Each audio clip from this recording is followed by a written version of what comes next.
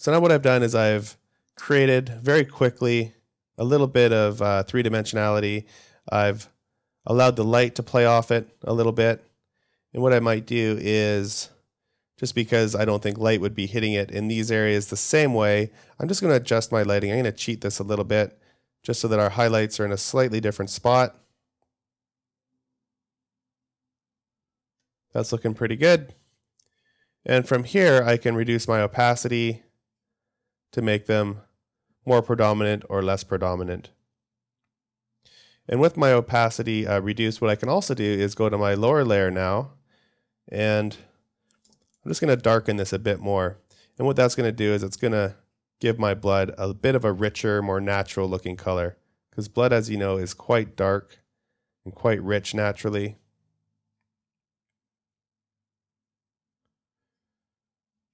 It can be quite nasty. So what I'm going to do is now I'm just going to merge these two layers together.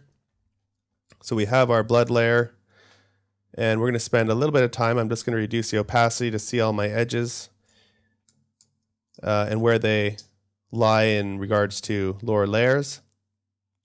And using the brush tool, I'm just going to blend in some of this blood to make it appear as though it's oozing out of the edges of our wound rather than being a great big pool. So if I bring up our layers again here uh, to full opacity almost, we can now go in and reintroduce some of the shadowed areas and some of the highlight areas. Sort of the same process that we've been doing with uh, all the other bruising and everything else. So in the shadow areas of the eye, I'm just going to bring it really dark. Want this to look very natural. In the beard as well, going to darken it quite a bit.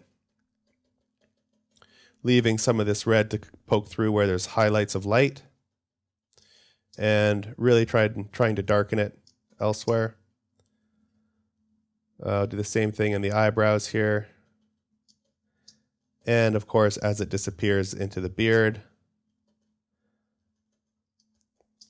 want to make sure that that is also reflected accurately.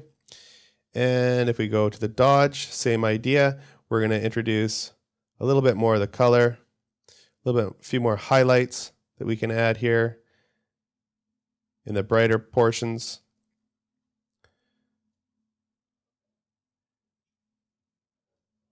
Maybe in the eyebrows when I have a couple hot spots. And in some of these uh, very highlighted areas, it's not going to look too bad if we almost make it white completely. So the nose, for instance, we're going to lighten that right up till it almost disappears. Some of these outside edges as well.